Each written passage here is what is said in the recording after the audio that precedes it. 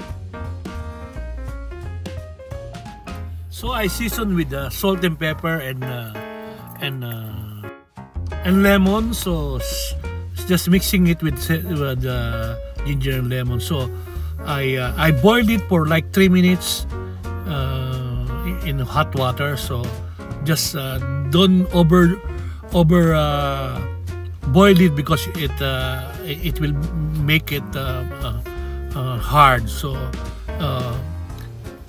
squid will be easy to cook. So I'm, I'm it's ready to fry. So I have my uh, my uh, my tempura uh, batter. So I use a, a ready-made uh, tempura batter. Just uh, mix it with the cold water, and uh, and and you can just dip it there.